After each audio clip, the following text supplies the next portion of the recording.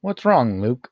Oh, nothing. It's just I tried to tried to make something work on my computer, but it just for the for the love of everything, it just does not work. Oh, what what is it that you're trying to do on your computer? Well, Why is this game not working? it's a long and very complicated story, and if I ever tell it, then it's gonna make me more mad at it. Oh, oh, Oh, okay. Hello there, idiots.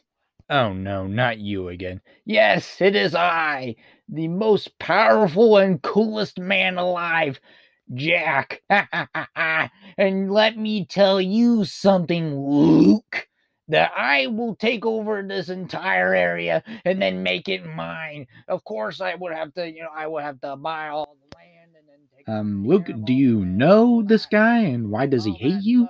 Oh, Of course, I will oh, um, me and Jack go a long, long way, back to elementary school. What do you do to him that made him hate you?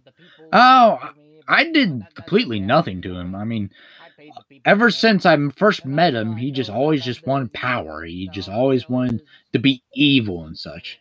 But why does he hate you? Uh, I don't know. Maybe it's because I have friends like you. Thank you. Or maybe it's because he just wants to take over the world for some reason. And. I don't know. He just has a sense of power of him, and and he tries to do something with that power, but ends up failing miserably and comically at the same time. Oh, oh, okay. And also, is he still talking? Yeah, he's still talking. You know what? There's one thing I want to say to you. Oh yeah, what's that?